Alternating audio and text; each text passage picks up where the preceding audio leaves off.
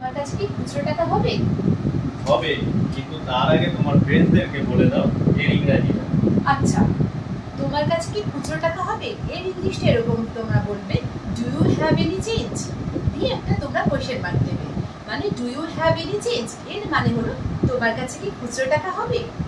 আর এরকম অনেক সুন্দর সুন্দর ইংলিশ জানতে আমার চ্যানেলটাকে প্লিজ প্লিজ সাবস্ক্রাইব করো লাইক করো অ্যান্ড অনেক শেয়ার করে আমার পাশে থেকে আমাকে ভালোবাসা দিও।